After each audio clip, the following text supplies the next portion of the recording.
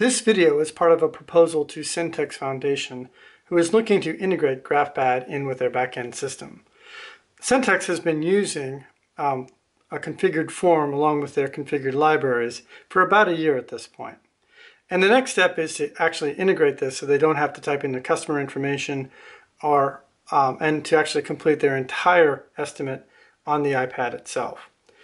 Now, the integration is via a map view, and basically this will show a particular user's appointments.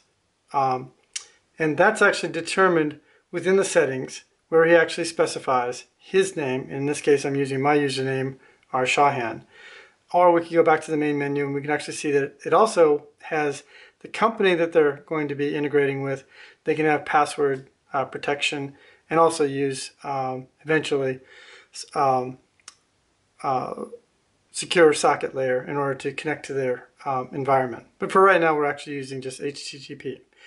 So in this case, we'll go in and we'll actually demonstrate. So he'll see his particular appointments as re returned from the web service, and he can bring up information about that web service, and we'll see all the information.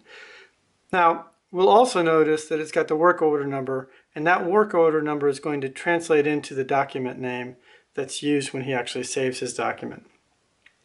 At this point, he can actually open up any one of a number of forms, and we'll go ahead and open up the entire estimation form. And we'll notice that the information from the appointment has been pre-populated throughout the form.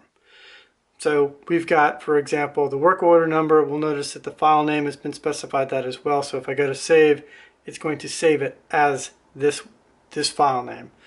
Um, also, it's got the address, um, the city, the customer name, etc., etc., and so forth. Um, this is a multi-page form. Now, the rest of this hasn't been completed in terms of a proposal, but you can actually see that it now has the rest of his proposal, and it would have signature fields, etc. But it has the entire estimate.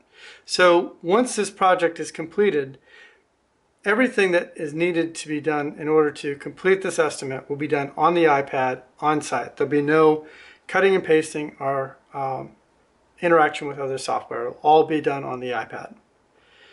And that's basically the, the gist of my presentation. So this is a part of a proposal just so they can visualize how the application is going to work. And that's my presentation. Thank you very much.